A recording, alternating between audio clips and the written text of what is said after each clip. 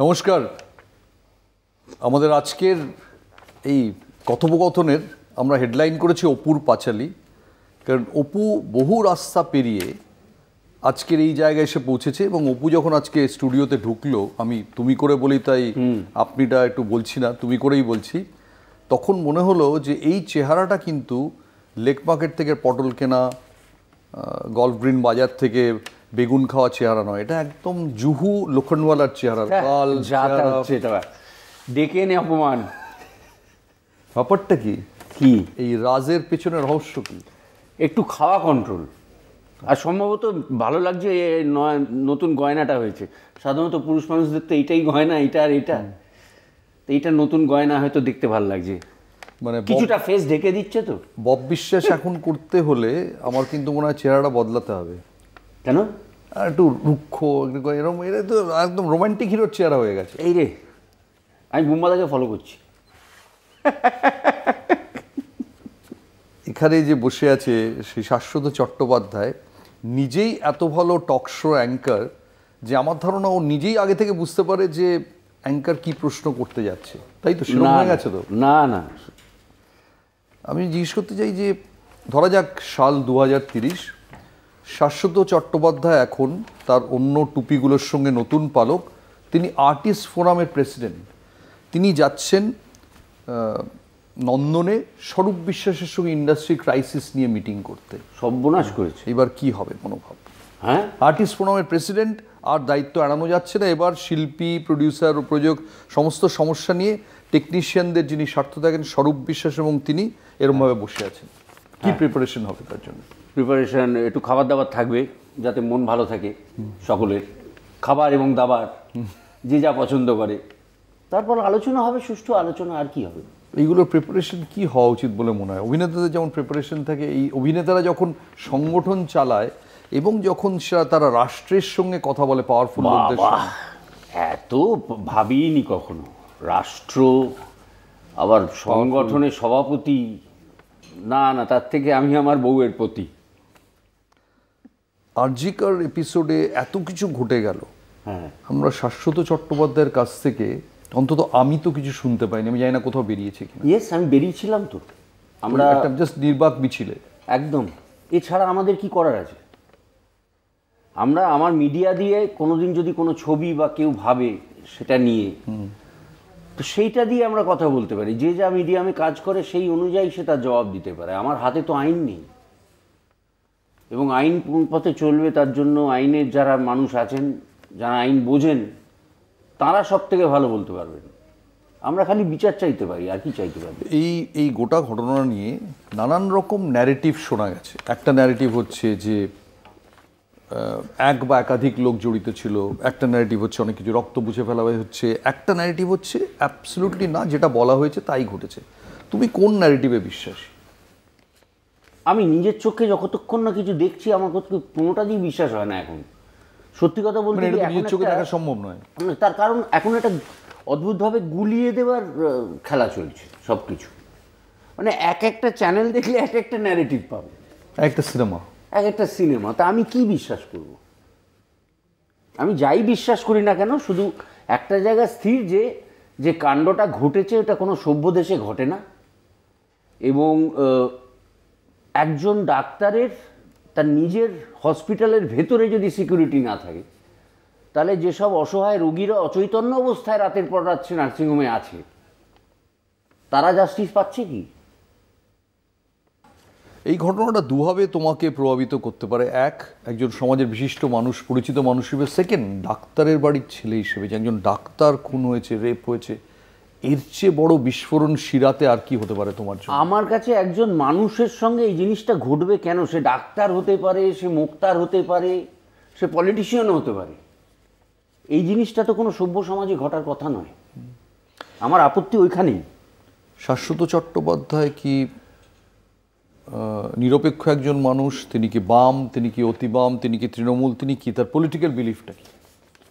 আমি পলিটিক্স নিয়ে কখনো কোনো ভাবিনি আমি পুরো ইনস্টিংক্টে ভোট দিই। আমার যেদিন ভোট আসবে তার আগেও দিন আমি ভাবি যে আমি কি কি পেয়েছি বা কি কি পাইনি। ওকে সেই অনুযায়ী গিয়ে আমি ভোট দিই। আমাকে আজ অব্দি কোনো দিন দেখবে না কোনো পার্টির ঝান্ডার তলায় হাঁটতে। কারণ আমি তা কারুর কাছ থেকে কোনো সাহায্য চাই না। আমি একজন নিরপেক্ষ ভোটার থাকতে চাই যার সিক্রেট ব্যালটে রাইট আছে। আমার একটা প্ল্যাটফর্ম বেছে নিতে হবে কেন? আমি তো অভিনেতা। আমার দর্শক বামপন্থীও আছে, তৃণমূলপন্থীও আছে, বিজেপিরও আছে। তা আমি সেটাকে কেন ভাগ করব? আমি প্রাইমারিলি আমি এখানে অভিনয় করতে এসেছি, এটার বাইরে আমি পলিটিক্স নিয়ে কিছু জানি না। যে কোনো জিনিসে আসতে গেলে তার একটা ব্যাকগ্রাউন্ড থাকতে হয়। ব্যাকগ্রাউন্ড না থাকলে একটা বাড়ির ভিত যদি নষ্ট না থাকে, ভালো স্ট্রং না হয়, তা আমি ওখানে মাল্টি স্টোরি তুলে দেবো? সব নিয়ে ডুববো। এরকম প্রচুর মাল্টি স্টোরি তো হচ্ছে যার হোক না ভেঙেও পড়ছে। ওকে শাশ্বত চট্টোপাধ্যায় এখন বাংলার না মুম্বাইয়ের? আমি ভারতবর্ষে। আমি মানে অ্যাজ অ্যান অ্যাক্টার আমি খুব কৃতজ্ঞ সুজয় ঘোষের কাছে যে কাহানি ছবিটা না করলে হয়তো আজকে এই রাস্তাটা খুলতো না। এবং যে কোনো শিল্পী চায় সব থেকে বেশি মানুষের কাছে তার কাজটা পৌঁছুক। তো সেটা একটা ভাষায় আবদ্ধ না থেকে যে মুহূর্তে অন্য ভাষা এলো এবং যেটা সারা ভারতবর্ষে সে ভাষা বুঝতে পারে তাতে আমারই তো ভালো হলো। মানে আমার কাজ অনেক বেশি সংখ্যক দর্শকের কাছে পৌঁছচ্ছে। যে দুর্জনেরা বলছে যে শাশ্বত চট্টোপাধ্যায় ফ্লোরে মানে রানিং মিটার সাড়ে তিন lakh running metre. How far is it true মানে? মানে দিনে ওই মিটার উঠে গেল পার দিনে সাড়ে তিন লাখ। উফ কবে যে স্বপ্ন সত্যি হবে? কারা বলিস রে ভাই আমার সামনে আর? তাই? না এরকম কোনো ঘটনা নয়। আচ্ছা মুম্বাই তোমাকে কীভাবে বদলেছে? মুম্বাই আমাকে অনেক কিছু শিখিয়েছে। আমি না একটু আমরা যেরকম বাঙালি হই আমি একটু ল্যাদ খাওয়া বাঙালি ছিলাম ফ্র্যাঙ্কলি স্পিকিং তোমরাও দেখেছ আমার কোনোদিন চেহারার যত্ন নেওয়া কোনোদিন জিমে যাওয়া এগুলো আমার রক্তে ছিল না। সিলেবাসে কোনোদিন কোনোদিন সিলেবাসে ছিল না। তো কাজেই আমি যখন স্পেশালি এক ভদ্রলোকের পাল্লায় পড়লাম ভদ্রলোকের নাম মিস্টার অনিল কাপুর আচ্ছা। নতুন জীবনের প্রথম শিক্ষক হয়ে হাজির হলেন। শিক্ষক নয় মানে সকাল বিকেল যা কথা শোনাতেন আমাকে এবং সেটা ভালোবাসা দিয়ে বলতেন কিন্তু। উনি বলতেন যে আমি চোখের সামনে ওনাকে দেখছি আমি চা নিয়ে সকালবেলা ঘর থেকে বেরোচ্ছি উনি জিম থেকে বেরোচ্ছেন দেখেই তৎক্ষণাৎ প্রেস্টিজে গ্যামাক্সি একদম এবং দেখ- এই বয়সে আমার থেকে দশ এগারো বছরের বেশি বয়স এবং সেখানে এখনো ওই ফিটনেস এবং রোজ আমাকে শোনাতেন तेरे साथ बहुत काम करना है तेरे में पॉसिबिलिटी है तू शाहरुख को देख तू सलमान को देख तुझसे दो साल बड़ा होगा সিক্স প্যাকস लेके घूम रहा है तू फैमिली पैक लेके घूम रहा है এই কথাটা প্র্যাকটিক্যালি রোজ শুনতে হতো। বহত কাম করনা তেরে সাথ। তো এই করে করে আমি ওনার সঙ্গে বসলে খেতে পারতাম না ঠিক করে। এখন ফ্যামিলি প্যাক থেকে ক প্যাক হয়েছে ফ্যামিলি প্যাকটাই একটু ছোট হয়েছে। তো অনিল কাপুর এখন আর অনিল কাপুরের ইনফ্লুয়েন্সটা তোমার উপরে প্রচুর পড়েছে খাওয়া দাওয়ায়। খাওয়া দাওয়া এবং তার ডেডিকেশান এইটুকু এইটুকু আমার অ্যাটলিস্ট করা উচিত আমার মনে হয় একজন অভিনেতা হিসেবে। এতদিন বাদে এসে আমি রিয়েলাইজ করেছি যে আমাকে যখন পর্দায় দেখা যাচ্ছে তখন যে আমাকে দেখা যাচ্ছে তাকে একটু সুন্দর করে দেখানোর দায়িত্ব বোধহয় পড়ে। তার জন্য হয়তো আমাকে একটু টাকা দেয়। তাই না? মুম্বাইতে তুমি একটা অ্যাডে মাধুরীর সঙ্গে কাজ করলে যেটা বারবার করে দেখা যায়। হ্যাঁ। মাধুরী দীক্ষিত থেকে কি শিখলে? আমি এদের প্রত্যেকের থেকে একটা জিনিস শিখেছি দেখেছি যেটা সেটা হচ্ছে যেটা এত কিছু অ্যাচিভ করেছেন তো লাইফে কি সব নাম বলছো? তুমি মানে এখানে অমিতাভ বচ্চন দেখছি কামাল হাসান হাসান, দেখছি অনিল কাপুর দেখছি আমাদের তার আগে মিঠুনদা দেখেছি এদিকে মাধুরী দীক্ষিত দেখছি। এরা না এত কিছু পাওয়ার পরেও কাজের প্রতি যে ডেডিকেশনটা যে খাটতে কোনো অসুবিধে নেই। একটা শট ভালো করার জন্য মানে অনিলজি জোর করে আমাকে দিয়ে মানে হয়তো তিনটে টেকের এক ডিরেক্টর বলে দিয়েছে ওকে নে এক করতে চল ভ্যারাইটি আয়গা। পনেরোটা টেক দিচ্ছেন সতেরোটা টেক দিচ্ছেন কোনো ক্লান্তি নেই। এবং ডেডিকেশান তার কাজের জন্য এবার একটা করে শর্ট দিয়ে আমরা থেকে থেকেই তো ফোন নিয়ে বাইরে চলে যাই বা কিছু করি। শট দিয়ে চুপচাপ বসে আছে, যতক্ষণ না ডিরেক্টর থেকে পারমিশন পাওয়া যাচ্ছে বা ডিরেক্টর বলছেন যে ভ্যানে যেতে পারেন, আধ ঘণ্টা টাইম আছে লাইটের জন্য। এটা আমি শুধু এই কথা বলছি না, আজকের দিনে দাঁড়িয়ে অমিতাভ বচ্চন এবং কমল হাসান এবং মাধুরী দীক্ষিতকেও দেখেছি ড্রেস চেঞ্জ বা টয়লেট যেতে না হলে ফ্লোরে বসে থাকেন। এত কিছু পাওয়ার পরে তো সেখানে আমি একটু চেহারার দিকে নজর দিয়েছি এইটুকুই করেছি তার মানে বেসিক্যালি ওরা শুটিং ফ্লোরে ঢোকার আগে অ্যাচিভমেন্টটাকে গাড়িতে ফেলে আসেন এইটা এটা এটা শিখেছি এবং আমি যদি সারাক্ষণ ভাবি যে আমি কামাল হাসান আমি অমিতাভ বচ্চন আমার মনে হয় আমি নতুন কিছু দেওয়ার তাগিদ যেটা হয় সেটা বোধহয় আর পাবো না মনের মধ্যে। যে কারণে আমি এখন ভাবতে শিখেছি যে আমি গতকাল এসেছি ইন্ডাস্ট্রিতে শাশ্বত চট্টোপাধ্যায় মানে বরাবর ছিল স্বতঃস্ফূর্ত অভিনয়। হ্যাঁ। এখন কি তার সঙ্গে একটু একটা ব্যাকগ্রাউন্ডার যোগ হয়েছে এদের দেখার পর? না না আমার এখনও এরকমই নেই। আচ্ছা। স্পন্টেনিয়াস। স্পন্টেনিয়াস। এবং সেটা মানে অনিল স্যারও রিয়েলাইজ করেছেন তিন দিন বাদে যে আমার অতগুলো টেক দেওয়াটা আমার পছন্দ নয়। আমি মানে উনি বুঝতে পেরেছেন এক্সপিরিয়েন্স মানুষ তো।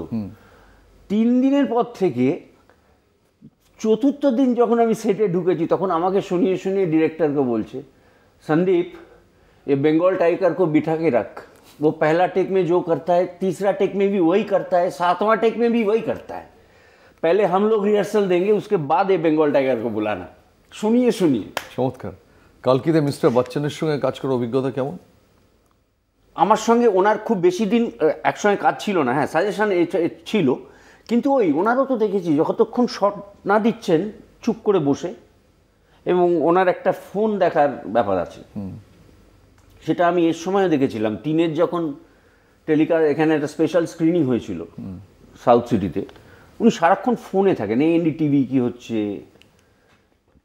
সবসময় আপডেটেড সবসময় আপডেটেড মানে এখনও মানে উনি যে কোনো ইয়াং মানুষের সঙ্গে পাল্লা দিতে পারেন। উনি কি উনি কি সেই লোকটাকে বদলে দিতে পেরেছেন যে মোবাইলই রাখা প্রয়োজন মনে করতো না যে সোশ্যাল মিডিয়া ছিল না? তাকে কি অমিতাভ বচ্চন বদলে দিতে পেরেছেন? না তাকে এখনও পারেননি কেউই পারেননি। মানে একটা মোবাইল আমার হয়েছে ঠিকই কিন্তু সেটা প্রয়োজনে হয়েছে কারণ বাইরে গেলে তো এখন কোনো হোটেল থেকে বাড়ির সঙ্গে যোগাযোগ রাখা যায় না। ওই ফোনের ওই ফ্যাসিলিটিগুলো বন্ধ হয়ে গেছে যেগুলো আমাদের ছোটবেলায় ছিল হ্যাঁ। যে হোটেল থেকে আমার সিটি থেকে একটা সিটি থেকে ছিল। এসটিডি বুথ ছিল। তো সেসব নেই কিন্তু একটা নিয়ে যাই ওটা সারাদিনই ওই ফ্লাইট মোডে ব্যাগের ভেতর থাকে ফ্লোরেও ঢোকে না। এবং হোটেলে ফিরে ওই অন হয় বাড়ির সঙ্গে কথা হয় তারপর কালকের ইনফরমেশন আগামীকালের ইনফরমেশনগুলো আসে সেগুলো দেখে আবার বন্ধ হয়ে যায়। মানে আমি জানি আমি তিন পাঁচ ছ বছর ধরে শাশ্বতকে ফোনে যোগাযোগ করার চেষ্টা করে ব্যর্থ হয়েছি বারবারই স্ত্রীর মাধ্যমে যোগাযোগ করতে হয়েছে। হ্যাঁ। তো এই ডিরেক্টররা কি করে যোগাযোগ করে? ওই স্ত্রীর মাধ্যমে। না এখন তো হয়েছে ফোন। বাট এই যে তাহলে পোস্টগুলো দেখি সোশ্যাল মিডিয়ায় শাশ্বত একজন আমার আমার টিম আছে কারণ আমার কিছু ছিল না সোশ্যাল মিডিয়ায় বিশ্বাস করো।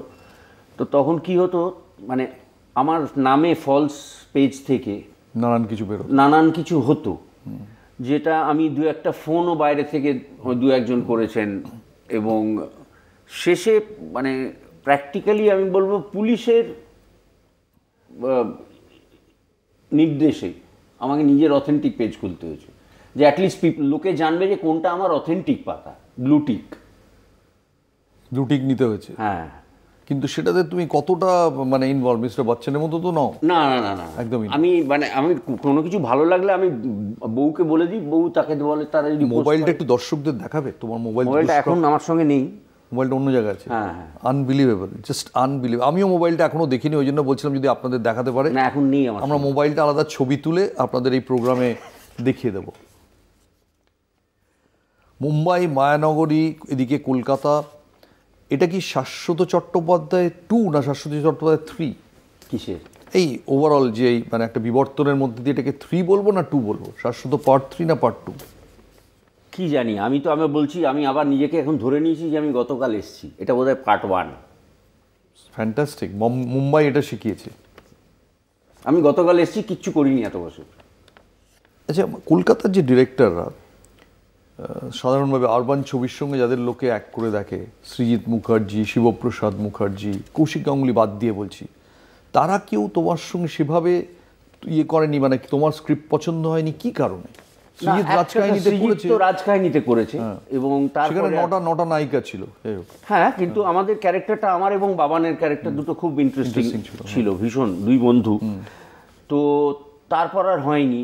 শিবুর সঙ্গে প্রাক্তনে ওই লাস্ট ওই লাস্ট সিনটা লাস্ট সিনটা হ্যাঁ। তারপরে একটা এসেছিল অফার কিন্তু আমার ঠিক মানে পছন্দ হয়নি। আমি বলেছি শিবুকে কোনো সিরিয়াসলি কিছু নিয়ে ভাবলে আমায় বলিস? আমি ডেফিনেটলি করব। কারণ ওর ওর একটা মানুষকে ছোঁয়ার মতো গল্প বলে সিনেমায়। ওর একটা ব্যাপার আছে কিন্তু। ও কিন্তু ওই যে বাংলা ছবির যে একটা পুরনো ধারা। পুরনো ধারার দর্শক তাদেরকে ছোঁয়ার টেকনিকটা শিবু নন্দিতাদি জানে পারফর্মার হিসেবে তুমি যদিও তোমার এখন অল ইন্ডিয়া ফেম বাট কখনো কি অসহায় লাগে যে এত কিছু এন্টারটেনমেন্টের মাধ্যম চারপাশে চলে এসছে তার মধ্যে আমি এক টুকরো সিনেমা নিয়ে কতগুলো লোককে পৌঁছতে পারব? এই লোকে গান শুনছে এই লোকে অফ করে দিচ্ছে লোকের ধৈর্যটাই তো চলে গেছে। না আর তাছাড়া এখন তো ওটিটিও এসে গেছে। এসে গেছে ওটিটি এসে গেছে এখন অনেক সিরিজ হচ্ছে যেগুলো খুব কন্টেন্ট খুব ইন্টারেস্টিং না আমার কোনো অসহায় লাগে না। আমি মনে করি যে আমি যা এখন অবধি অ্যাচিভ করেছি আমি তো কোনোটাই আশা করে আসিনি। আমি তো ইন্ডাস্ট্রিতে অ্যাক্সিডেন্টালি এসেছি। আমার কোনোই লক্ষ্য ছিল না। ক্রিকেট খেলতে খেলতে এখানে আমার কোনো লক্ষ্য ছিল না। রাস্তায় ক্রিকেট ফুটবল খেলতাম খোকনদার ক্লাবে ফুটবল খেলতাম খোকনদা যাদের অনেক বড় বড় ছাত্র আছে বিশ্ববিদ্যালয় টিশ্ববিদ্যালয় সব হ্যাঁ। খোকনদার ছাত্র। এই করে বেড়াচ্ছিলাম। কলেজ যেতে হয় তাই যাচ্ছিলাম। তারপরে বাবা তো নিয়ে গেলেন একদিন নৌকো রিসর্টে নিয়ে গেলেন প্যাডেল বোটে এটা কোনো বাবা ছেলেকে নিয়ে গেছে বলে আমার মনে হয় না। এবং শুনেছি বিয়ারের ক্যান হাতে দিয়ে নাকি? হ্যাঁ বিহারের বোতল তখন ক্যান বেরোয়নি। হাতে দিয়ে তারপর দেখলাম মাঝখানে নিয়ে চলে গেল। আমি ভাবলাম এবার ধাক্কা দিয়ে ফেলে দেবে বোধহয়। তা হলো কি করতে চাস তুই বলতো জীবন? কি সেটিংটা কি ফিল্মি সেটিং যে বাবা ছেলেকে একদম গাড়ি করে গাড়ি চালিয়ে তখন আমাদের সত্যিই পুরো। আর মানে নিজে গাড়ি চালাতো। সেইখান থেকে নিয়ে গেল একটা রিসর্টে তাও দুপুরবেলা। বাড়িতে আমরা খাচ্ছি না বলে বেরিয়ে গেল। মা কিছু বোঝেইনি আমিও কিছু বুঝছি না আমি কি অন্যায় করেছি ভাবতে ভাবতে যাচ্ছি। বাবা এমনিতে খুব কম কথা বলতেন। খুব ভাবতে হয় কী অন্যায় করেছি কোথায় নিয়ে যাচ্ছে জেলে দেবে না কি করবে? তারপর দেখি রিসর্টে ঢুকছি। আমি রিসর্টে এইরকম তো দেখিনি কখনো। তারপরে এইসব হলো। এটা কোন রিসর্ট ছিল? এটা একটাই তখন রিসর্ট ছিল। আমার মনে হচ্ছে পার্ক সার্কাস আমার মনে নেই। পার্ক সার্কাসের ওই কানেক্টারটার ওদিকেই কোনো একটা রিসর্ট আচ্ছা। তখন অত রিসর্ট ছিল না। তো লোকে শুভেন্দু চ্যাটার্জি এসছে দেখে লোকে মানে উঠে দুপুরবেলা অত লোক ছিল না যে গরমের মধ্যে তো প্যাডেল বোর্ডে মাঝখানে নিয়ে চলে গেল হ্যাঁ পাঠ করতে আমি ভাবলাম মাঝখানে নিয়ে গিয়ে এবার দিয়ে দেবে জলাঞ্জলি যা দরকার নেই আর। তারপরে জিজ্ঞেস করাতে হুট করে মুখ ফুসকে বেরিয়ে গেল। অ্যাক্টিং করব। তারপরে এই চারবাকে ভর্তি হয়ে গেলাম। ওই ধীরে ধীরে এখন পেছন ফিরলে যোচন্দ্র সিয়ারের শিক্ষা আর ওটা লাগে। ওটা ওটা লাগে। খুব খুব খুব ওটা আমাকে অনেকটা গ্রাউন্ডেড করে দিয়েছে। মানে হয় না একটা ধারণা? থিয়েটারের মানে টিম ম্যান করে দিয়েছে। টিম ম্যান এবং এটা যে টিম ওয়ার্ক অভিনয়টা এবং তার জন্য যে একটা ডিসিপ্লিন দরকার হয় সেটা কিন্তু যশোন্দা এবং তার চারবাগ দল আমাকে শিখিয়েছে। এবং সেটা না থাকলে হয়তো আজকে আমি এতটা যাই করি না কেন সেটা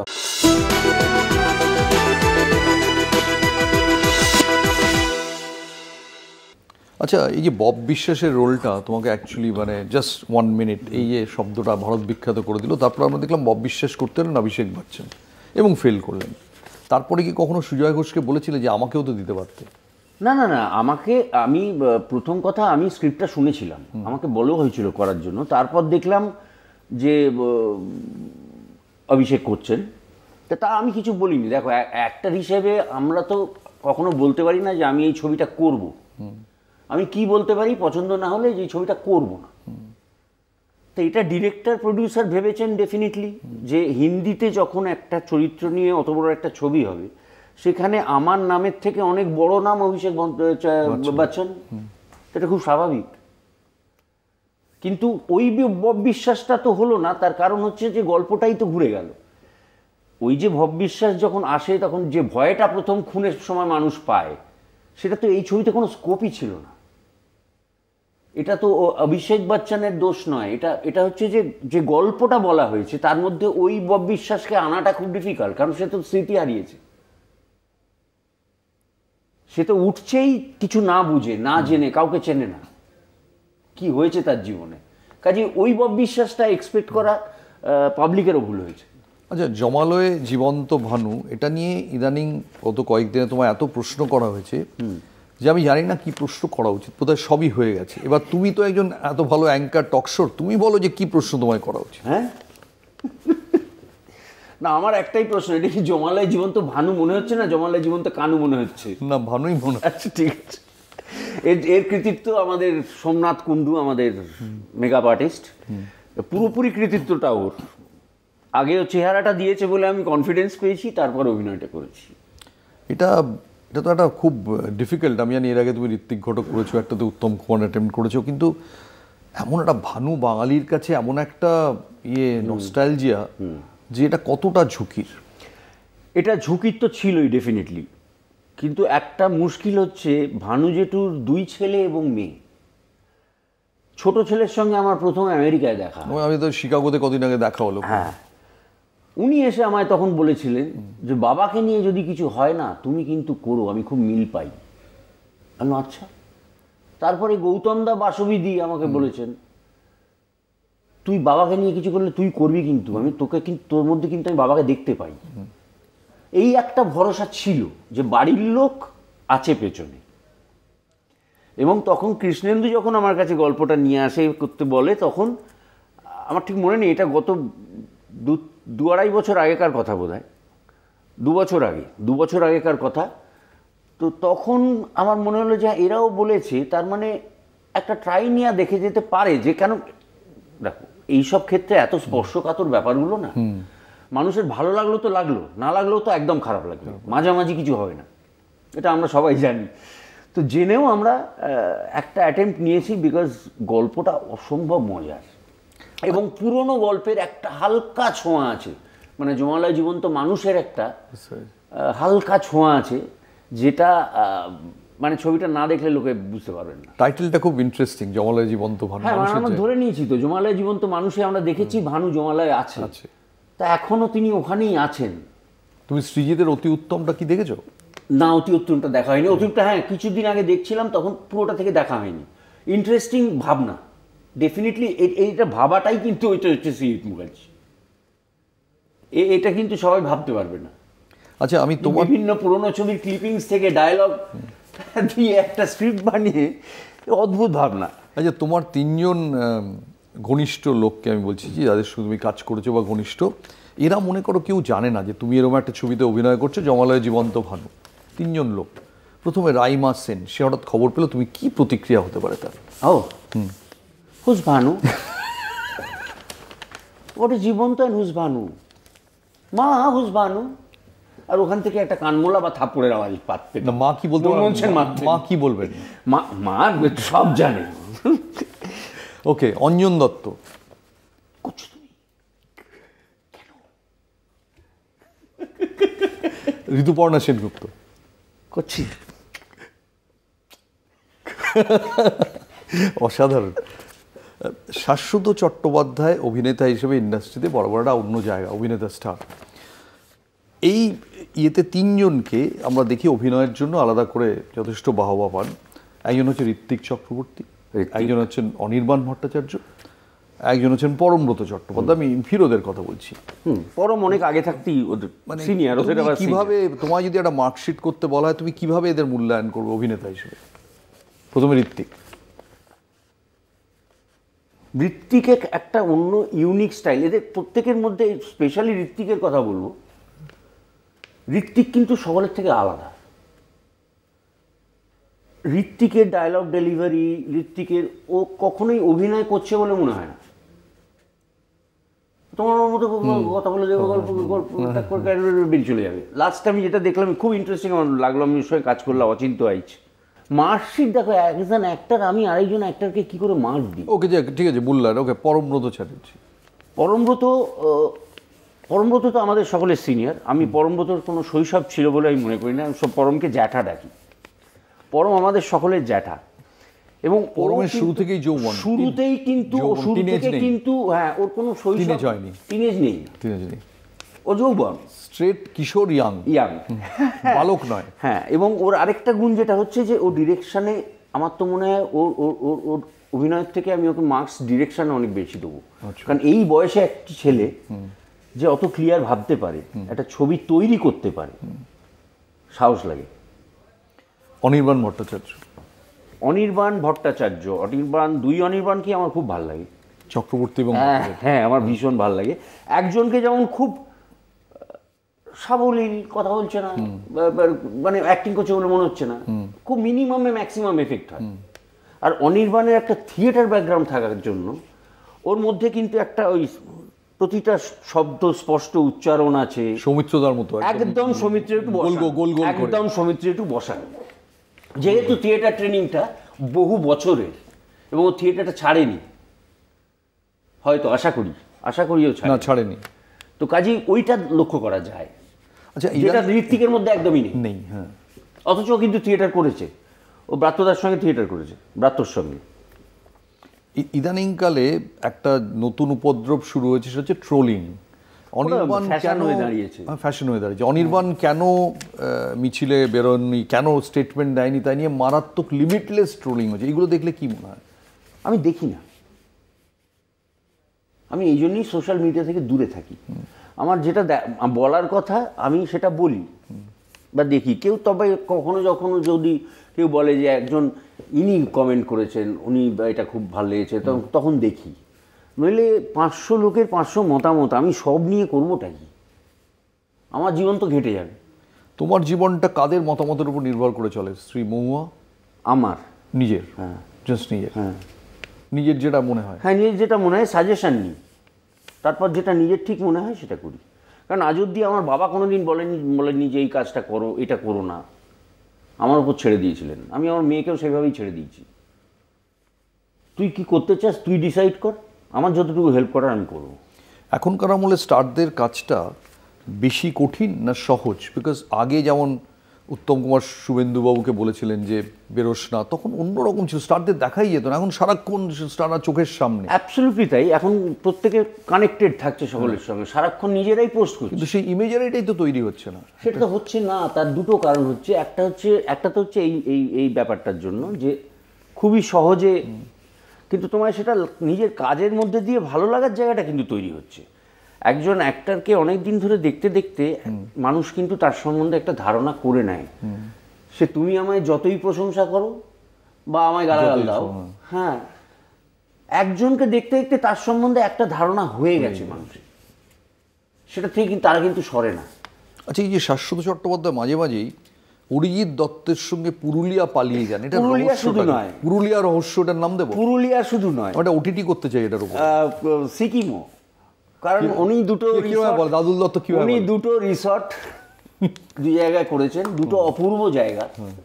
এবং আমাদের গ্যাপ থাকলে আমি এখানেই জানিয়ে রাখি আজকে এই যে ইন্টারভিউটা দিচ্ছি এটা আমার লাস্ট ইন্টারভিউ প্রমোশনের কাল সকালবেলা আমি এবং গৌতম গৌতমদার ষোলো বছরের জুনিয়র হ্যাঁ? সহকর্মী। সহকর্মী যার বস গৌতম দা তিনিও আমার সঙ্গে যাচ্ছেন। সঙ্গে আরও দু তিনজন আমরা আবার কালকে নর্থ বেঙ্গল চলে যাচ্ছি। না কিন্তু আমি সেই সফরের কথা বলছি না। একা দাদুল দত্তের সঙ্গে পুরুলিয়ায় কিরম কনভারসেশন হয়? একটা জলদ গম্ভীর ব্যারিটন একটা? অনেক রকমের আলোচনা হয় অনেক রকমের হয়। তারপর রিসর্টটায় কোথায় কোথায় কী কী গন্ডগোল তুই পেলি এক নোট করিয়ে দে। এসব হয়। এসব হয়। এসব হয়। কি চেঞ্জ করা যায় বলতো? আইডিয়া কিন্তু আমি অনেক সময় দেখেছি বাড়িতে ফোন করে মোমো বলছি ও তো পুরুলিয়া বেড়াতে গেছে। কেসটা কি যে একটা লোক সারা বছর শুটিং করে তারপরে যখন বেড়াতে যাচ্ছিস সে তখনও পরিবারকে নিয়ে যাচ্ছে অথচ সে গল্পের বাড়িতেই পরিবারকে নিয়ে প্রতি বছর পুজোয় বেরোই গত দু বছর একটা কোটা আছে। হ্যাঁ একটা কোটা আছে আছে, কারণ অন্য সময় মেলে না তো। আচ্ছা। আমাদের তো আর স্কুল কলেজ নয় যে সোমবার থেকে শুক্রবার শনি রবি আমার ছুটি। এবার আমার যখন ছুটি হবে আর আমরা যেভাবে যাই গাড়ি নিয়ে লং ডিস্টেন্স আমার বউ মেয়ে যাবে না। আমার সঙ্গে একবারই ফিরেছিল সতেরো ঘণ্টা টানা দার্জিলিং থেকে কলকাতা। তারপরে? তারপরে নেবে গাড়ি থেকে নেবে বলেছিল তোমার সঙ্গে জীবনে গাড়ি করে কোথাও যাব না। কারণ আমার একটা মানে হিসেব আছে যে আমি লং ড্রাইভে বেশি দাঁড়াবো না। আচ্ছা। খুব প্রয়োজন না থাকলে। তার একটা সিম্পল রিজন আমি কষ্ট করে বারোটা ট্রাককে ওভারটেক করব। তারপর তুমি কুড়ি মিনিট ধরে একটা জায়গায় ধাবায় বসে চা খাবে সতেরোটা ট্রাক আমাকে ক্রস করে বেরিয়ে যাবে। তাহলে লাভটা কি হলো? তাহলে আমি ওই খাটনিটা কেন খাটলাম? এ ব্যাপারে দাদুল দত্ত কি বলে? একই একই থিওরি আরে একই থিওরি দাদুলদা এমন করেছে অরিজিৎ দত্ত একজনকে তার অনেকক্ষণ থেকে বাথরুম পেয়েছে। তাকে একবার যখন নিজেরা করে উঠেছি তখন বলেছিল যে যদি বাথরুম যেতে হয় করে নে। সে তখন বলেছিল না না লাগবে না। এবং আধ ঘণ্টা পঁয়তাল্লিশ মিনিট পর থেকে তার বাথরুম পেয়েছিল। তাকে ছ ঘণ্টা গাড়িতে বসিয়ে রেখেছিল। গাড়ি চলছিল থামে কি- বলে? গাড়ি থামবে না। তখন যখন বলেছিলাম সে বেচারা কেঁদে সে যখন লাস্টে নেবেছিল মানে প্রায় মানে ঘামছে। তো সেইটা আমি অতটাও বাড়াবাড়ি করি না কিন্তু আমার মানে লং ড্রাইভের ওটা হচ্ছে বেসিক রুল বেশিক্ষণ ধরে থামবে না। থামলেও যতটুকু দরকার পাঁচ মিনিটের জন্য থাম। কিন্তু অতক্ষণ ধরে থেমে বিলাসিতা করা হাইওয়েতে একদম শেষে চলে এসেছি। এই ঠিক এই মুহূর্তে শুভেন্দুবাবুর সঙ্গে দেখা হলে কি বলতে? মানে আমি? আমার মনে হয় না আমায় কিছু আমায় কিছু বলতে হতো। দুঃখ লাগে একটাই যে আমি অনেক কিছু বাবা চলে যাওয়ার পরে পেলাম। এটা উনি দেখে যেতে পারলেন না। না। সেইটা একটা আক্ষেপ রয়ে গেছে। এখন যদি দেখা হয় আমার বিশ্বাস উনি আমাকে জড়িয়ে ধরবেন। আর এই জমালয়ে জীবন্ত ভানু করলে খুশি হবেন? মানে দেখলে যে হ্যাঁ হ্যাঁ। বাবা ভানু জেঠু বাবার খুব প্রিয় মানুষ ছিল খুবই প্রিয় মানে এত মানে মানুষটাই এত অন্যরকম ছিলেন মানে শিক্ষিত পড়াশোনা জানা একটা নিজের রাজনৈতিক এবং আদর্শগত একটা ব্যাপার ছিল যেটা থেকে উনি কখনো সরেননি। যখন একটা টাইমে আমার মনে আছে উনি ওনাকে আলাদা করে দিয়েছিল ইন্ডাস্ট্রি স্ট্রাইকের সময়। স্ট্রাইকের সময় আলাদা করে দিয়ে এক ঘরে করে দেওয়া হয়েছিল কিন্তু উনি মাথা ঝোঁকাননি। তো এই এই ধরনের মানুষ আজকের দিনে খুব বিরল। এক সময় মনে হয় যে এই লোকগুলোর সঙ্গে অভিনয় করার সুযোগ পেলে ভালো খুবই মনে হয় খুবই মনে হয়। আমার জীবনের খুব আক্ষেপ। যে রবি জটুর সঙ্গে তাও পেরেছি ভানু জটুকে পাইনি। আমার বাবুদার সঙ্গে কাজ করেছি মানিক জটুর সঙ্গে কাজ করার সুযোগটা এসেছিল কিন্তু আমার মার জন্য সেটা হয়নি। কেন? আর চুল কেটে দিয়েছিল। জয়বাবা ফেলুনাথের ওই ক্যাপ রুকু। ও ক্যাপ্টেন স্পার্ক। আমাকে বেঁচেছিলেন উনি। তো যেই খবর পেয়েছে মা বাবার কাছ থেকে যে মানিক দা ওকে ছবিতে নেবে তো একটু কালকে নিয়ে যেতে বলেছে। ওটা শুনে মা বুঝেছে যে তো স্কুল কামাই হবে। পরের দিন যখন আমি স্কুল থেকে, বাস থেকে নেমেছি, আমাকে স্ট্রেট নিয়ে গিয়ে সেলুনে নিয়ে চলে গেছে। পুরো মাথা মুড়িয়ে কেটে দিয়েছে চুল। আর মানিক জেঠুর লম্বা চুল ছেলে, বাচ্চা ছেলে মানে সব কপালে চুল পড়ে থাকবে। ওনার কিছু কিছু ফ্যাসিনেশন ফ্যাসিনেশন ছিল। বাচ্চা ছেলে মানে কপালে চুল পড়ে থাকবে। ছোট চুলের বাচ্চা ছেলে উনি নেবেন না। তো একজন অভিভাবকদের একজন নিয়ে যাচ্ছে জলের মধ্যে আরেকজন চুল কেটে দিচ্ছে চুল কেটে সাংঘাতিক। এবং মানে সেই নিয়ে তুলকালাম ঘটেছিল। তো সেই সুযোগটা হাতছাড়া হয়ে গেল। এই আর কি। বাট সেটা হাতছাড়া হলেও সব মিলিয়ে সময়ে বুঝতে পারিনি যে আমি যখন যতদিন উনি বেঁচে ছিলেন ততদিন বুঝতে পারিনি উত্তম কুমার কি। থাকলে আমি বড় বড় করে ছবি তুলে ওনার সঙ্গে দেয়ালে রেখে দিতাম। এটা আক্ষেপ। Thank you so much Saswata. আজকে একটা মিনি ইন্টারভিউ হলো। খুব ভালো লাগল আর অনেক ভেরি বেস্ট উইশেস জমলে জীবন্ত ভানু থ্যাংক নিয়ে। থ্যাংক গৌতম দা। আর মোবাইল ফোনটা আমরা চাইব যে তোমার সঙ্গে যেন এরপর থেকে থাকে। আচ্ছা ঠিক আছে। আচ্ছা থাকবে থাকবে। Thank you thank you